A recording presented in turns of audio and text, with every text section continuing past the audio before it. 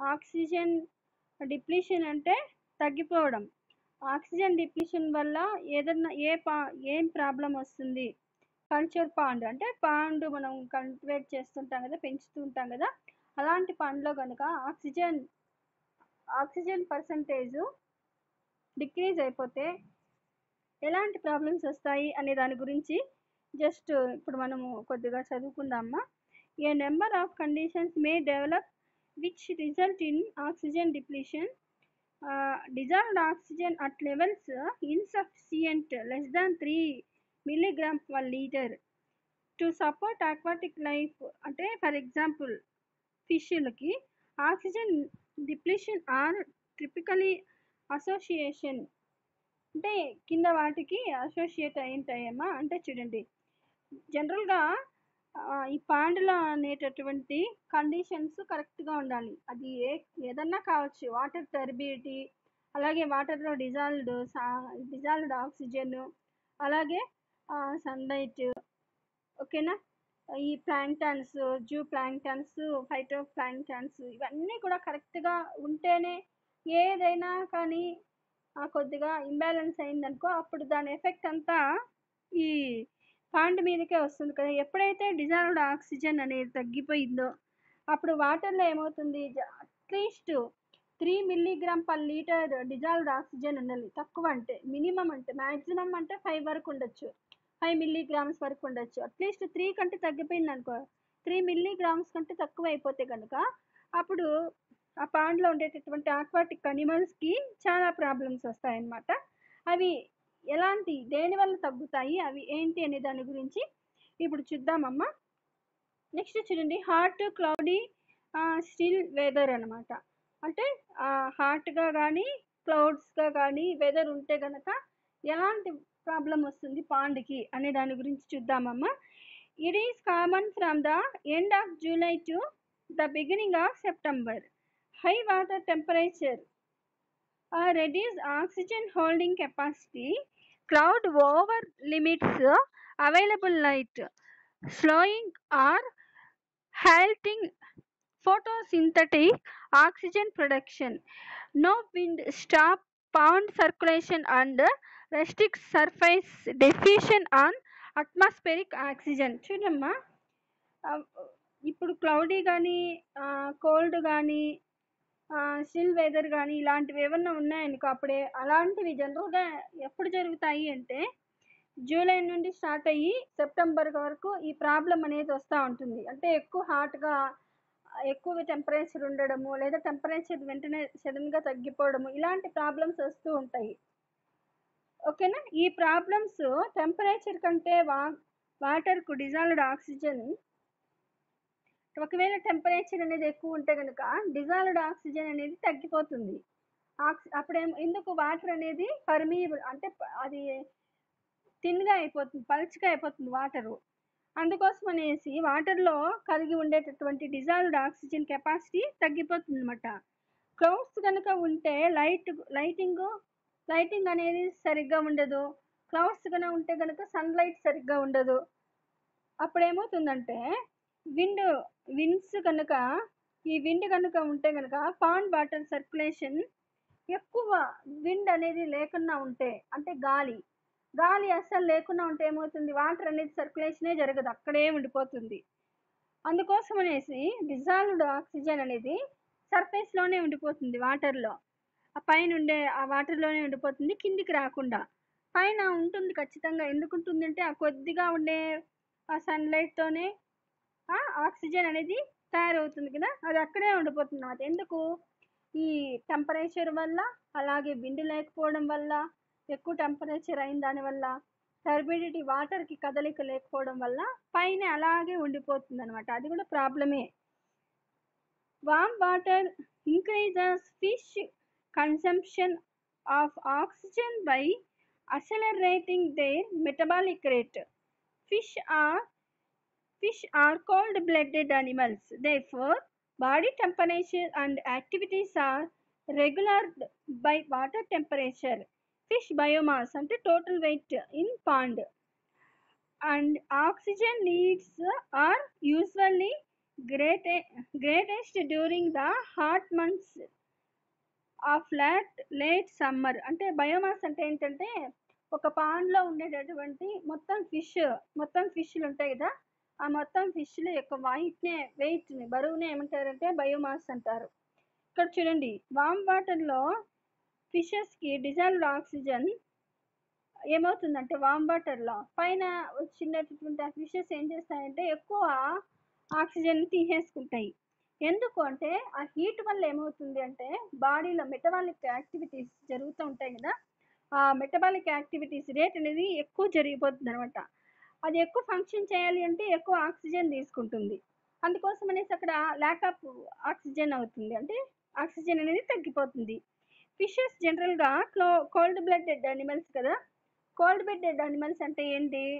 ఆ ఎన్విరాన్మెంట్కి బే దా ఎన్విరాన్మెంట్కి సరిపోయినట్టుగా body టెంపరేచర్ని change చేసుకుంటూ ఉంటాయి. ఓకేనా? ఇవి అలా జరుగుతాయి అన్నమాట కాబట్టి బాడీ టెంపరేచర్ అనేది వాటర్ టెంపరేచర్ పైననే ఆధారపడి ఉంటుంది కదా? ఎందుకు? అలా వాటర్ టెంపరేచర్ తక్కువగా ఉంటే గనక ఆ సరౌండింగ్ని బేస్ చేసుకొని తగ్గడము పెరగడము అనేది జరుగుతూ ఉంటుంది దీంట్లో టెంపరేచర్ అనేది. ఫిష్ బయోమాస్ అంటే కనుక టోటల్ వెయిట్ ఇన్ పాండ్ అనేది ఇందాక చెప్పుకున్నాం కదా?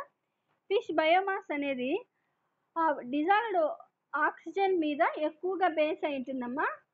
అది కూడా సమ్మర్లో ఎందుకంటే సమ్మర్లో టెంపరేచర్ ఎక్కువగా ఉండడం వల్ల వాటి మెటబాలిక్ యాక్టివిటీస్ ఎక్కువగా పెరిగి పెరుగుతాయి కదా. ఆ మెటబాలిక్ యాక్టివిటీస్ ఎక్కువ పెరిగిన దానివల్ల ఏమవుతుందంటే డిజాల్వ్డ్ ఆక్సిజన్ ఎక్కువగా ఇవి తీసేసుకుంటా వస్తాయి. అప్పుడు పాండులో ఆక్సిజన్ అనేది తగ్గిపోతూ వస్తుంది. Next sudden death of phytoplankton or algal bloom. ఓకేనా? ఆల్గల్ బ్లూమ్ అంటే ఏంటంటే చిన్న చిన్న నాచులాగా పైన అంటే పాండ్ పైన పెరుగుతూ ఉంటాయి చూడండి. మనం పాచి అంటుంటాం. అదే అనమాట ఇది చూడండి. It may result from insufficient light for photo phi photosynthesis ఇనాడ్ inadequate pond nutrients bloom too dense to be supported by available nutrients and or bloom bloom synthesis. Oxygen is consumed or deleted, depleted when dead phytoplankton or algae, blue, algae decay. During the night times, nighttime at hours, a dense phytoplankton blooms can remove all oxygen from the water for respiration alone. When a bloom crash over the water appeared to have become black or clay overnight. చూడండి అమ్మా clear over night ఇక్కడ సడన్గా death of phytoplanktons అంటే సడన్గా చనిపోతాయి. ఈ algal blooms కానీ phyto ఏదన్నా ఒకటే algal blooms or phytoplanktons ఎందుకు చనిపోతాయి? దేనివల్ల చనిపోతాయి? అంటే సమ్మర్లో సన్లైట్ ఎక్కువగా ఉంటుంది కదా.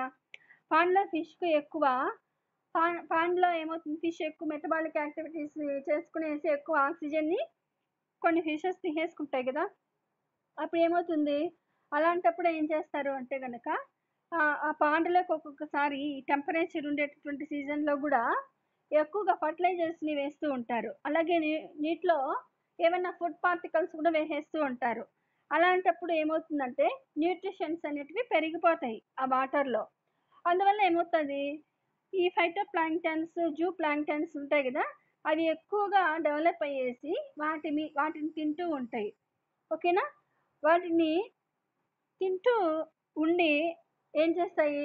ఇవి ఎక్కువ డెవలప్ అయిన దానివల్ల ఇవి తీసుకునేస్తాయి డిజాల్వ్డ్ ఆక్సిజన్ను అలాగే ఏమవుతాయంటే కో ఇవి చనిపోతాయి కదా అట్లే ఉండవు కదా కొన్ని రోజులకి అవి చనిపోతాయి కదా. ఆ చనిపోయినవి ఏమవుతాయంటే డీప్కి వెళ్ళిపోతాయి చచ్చిపోయేసి.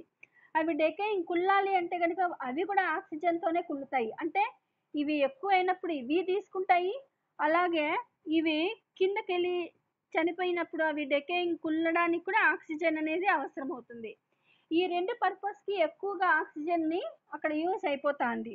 అందుకోసం మిగిలినటువంటి ఆ ఫిషెస్కి ఆక్సిజన్ అనేది తక్కువైపోతుంది. ఓకేనా? ఈ ఫైటోప్లాంక్టన్స్ నైట్ టైంలో ఎక్కువగా పెరుగుతాయి అన్నమాట పెరిగి ఓటుని ఎక్కువగా యూజ్ చేసుకుంటాయి. ఆల్గల్ బ్లూమ్స్ ఎక్కువగా ఇక్కడ డెవలప్ అయిన దానివల్ల ఏమవుతుందంటే పాండ్ బ్లాక్ లేదా గ్రీన్ కలర్లో మనకి కనిపిస్తూ ఉంటుంది అనమాట వాటిని ఇండికేట్ చేస్తూ ఆ కలర్లే కనిపిస్తాయి వాటర్ అనేది. Next pond stratification or turn over చూడండి. During summer months in deep pond ponds upper 4 to 6 feet of the water column warm quickly and become less dense or lighter than deep water because the upper layer is warmer and lighter. It does not mix with the cool, deep water. The cool water near the bottom becomes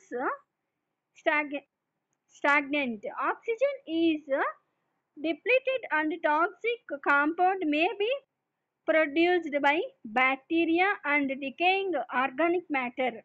The deep layer remains remains unoxygenated becomes of stratification a sudden heavy rain అంటే sudden heavy rain అంటే two to two నుంచి three inches or a strong cold front can rapidly cool and mix the upper level layer layer the now cooler or circulating upper layer sinks are mixed and causes the deep anoxic layer to rise above or combine with the surface water that depletes or uh, reduce oxygen in upper water where fish are being cultured.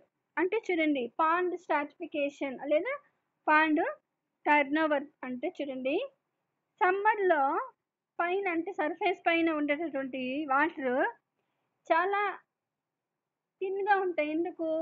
దానికి ఎక్కువ temperature తగులుతూ ఉంటుంది కాబట్టి. అప్పుడు water molecules విడిపోతాయి దూర దూరంగా ఉంటాయి అన్నమాట డీప్లో అంటే ఎయిట్ ఫీట్ ఎయిట్ ఫీట్ వరకు బాగా కూల్గా ఉంటాయి. కింద నుంచి ఎయిట్ ఫీట్ వరకు.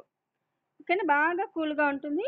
పైన అయితే కనుక ఫోర్ టు సిక్స్ ఫీట్స్ పైనుంచి కిందికి అక్కడ కొంచెం హీట్గా ఉంటాయి వాటర్. కాబట్టి ఈ టూ టైప్స్ ఆఫ్ వాటర్ కల్స కల కలవలేదనమాట ఎందుకు? ఎక్కువ డిఫరెన్స్గానే ఉంటే ఆ వాటర్ రెండు అనేది కలుసుకోవన్నమాట. డీప్లో వాటర్ కదలదు కదా? డీప్లో ఎప్పుడు ఒక స్టాండర్డ్గానే ఉంటుంది. అప్పుడు ఏమవుతుందంటే డెకేయింగ్ ఆర్గానిక్ మ్యాటర్స్ అయినటువంటి బ్యాక్టీరియాస్ మ్యాటరు మళ్ళీ బ్యాక్టీరియాస్ ఎక్కువగా పెరుగుతూ ఉంటాయి అక్కడ. డెకేయింగ్ ఆర్గానిక్ మ్యాటరు అలాగే బ్యాక్టీరియాస్ కూడా ఎక్కువగా అక్కడ డెవలప్ అయిపోయేసి టాక్సిక్గా అయిపోతుంది అనమాట వాటర్ కూడా. సో డీప్లో డిజాల్వ్డ్ ఆక్సిజన్ అనేది చాలా డిక్రీజ్ అయిపోతుంది. డిజాల్వ్డ్ ఆక్సిజన్ ఇక్కడ ఇవి చనిపోవడానికి అలాగే బ్యాక్టీరియాలు యూజ్ చేసేసుకుంటా ఉంటాయి. అక్కడ ఉండే అక్వాటిక్ ఫిషెస్కి అందనివ్వకుండా. సడన్గా రెయిన్ వచ్చినా కూడా విండ్ ఎక్కువైనా కానీ ఈ టూ వాటర్ అనేది మిక్స్ అవ్వదు అనమాట ఎందుకు వెంటనే కూల్ అవ్వదు కదా వాటర్ అందుకోసం అని. కాబట్టి డిజాల్వ్డ్ ఆక్సిజన్ తగ్గి ఫిషెస్కు చాలా ప్రాబ్లం కలుగుతుంది. ఒక్కొక్కసారి ఏమవుతాయి? ఆక్సిజన్ అందక ఈ ఫిషెస్ అనేటివి చనిపోయేటటువంటి ప్రాబ్లం కూడా ఉందమ్మా. Next organic waste decomposition. చూడండి.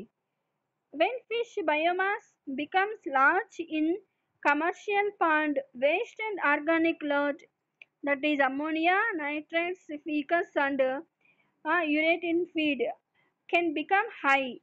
Wastes and organic will decompose. That requires oxygen oxygen oxygen often more than is available in pond water. Also high waste loads can stimulate an algal bloom too dense to be supported by the pond అంటే చూడండి మా ఇక్కడ మనం ఏం చెప్పుకుంటున్నామంటే organic waste decomposition. Organic wastes వల్ల ఏమవుతాయి? ఈ organic waste వల్ల ఈ నైట్రోజినస్ వేస్టేజెస్ అయినటువంటి అమ్మోనియా యూరియా ఫీకస్ ఇవన్నీ కూడా వాటర్లోకి వెళ్తాయి కదా వాటర్లో ఉంటాయి కదా. ఆర్గానిక్ మ్యాటర్ అంటేనే ఇవన్నీ.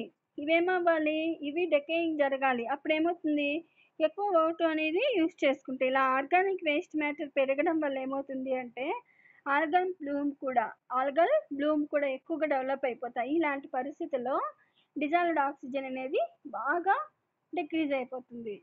ఓకేనా? These situation can occur alone or in interrelated combinations. As just discussed conditions may develop which remove oxygen from water faster than natural process can replace it. When the when they occur emergency or supplemental aeration may be required to bring oxygen back up to tolerate 3 to 5 milligrams per liter are safe. uh, 5 milligrams per 1 liter levels. అంటే చూడండి ఇప్పుడు ఇందాక చెప్పుకున్నటువంటి వాటి వల్ల ఏమవుతుందంటే ఓవరాల్గా చూస్తే ఆక్సిజన్ అనేది డిమాండ్ ఎందుకు వస్తుంది? తెలుస్తుంది. ఓకేనా? ఇలా డిజాల్వ్డ్ ఆక్సిజన్ పర్సంటేజ్ కన్నా తగ్గిపోయింది అంటే కనుక చాలా ప్రాబ్లమ్స్ వస్తాయి. దానికి ఆ ఆక్సిజన్ని మళ్ళీ రీప్లేస్ చేయడానికి ఏవైనా ఆల్టర్నేట్స్ చేయాలన్నమాట. ముఖ్యంగా ఈ వాటర్ని ఏరియేట్ చేయడం. వాటర్ ఏరియేషన్ అంటే నిన్నటి క్లాస్ వరకు చెప్పుకున్నాం. ఏరియేషన్ అంటే ఏంటి? ఏరియేటర్స్ ఎలా ఉంటాయి? అవి ఏ విధంగా వాటర్కి ఎలాంటి ఏ విధంగా ఈ ఆక్సిజన్ని సప్లై చేస్తాయి? అంటే ఉండేదాన్నే కిందకి పైకి కలపడం వల్ల ఆక్సిజన్ అనేది ఒక్కొక్కసారి అట్మాస్ఫియర్ నుంచి కూడా కొన్ని డిఫ్యూజర్ ఎయిర్ సిస్టమ్స్. అంటే అలాగే యాక్స్పిరేటరీ ఎయిర్ సిస్టమ్స్ ఇవన్నీ ఉన్నాయి కదా. ఇవన్నీ కూడా ఇలా చేస్తాయి. ఏరియేట్ చేసి వాటర్లో dissolved oxygen percentage minimum three three three two five milligrams per litre పెంచాలి. సేఫ్గా అంటే ప్రాబ్లమాటిక్ లేకుండా ఉండడానికి అయితే కనుక five milligrams per litre five milligrams ఉండాలి. ఒక లీటర్ కన్నా మనము టెస్ట్ చేసి చూడొచ్చు దాన్ని. మిల్లీగ్రామ్స్ ఉంటాయన్నమాట. ఇలాగనే పెంచితే ఆక్వాటిక్ అనిమల్స్ బాగా సర్వైవ్ అయ్యి అవి చనిపోకుండా ఉంటాయి.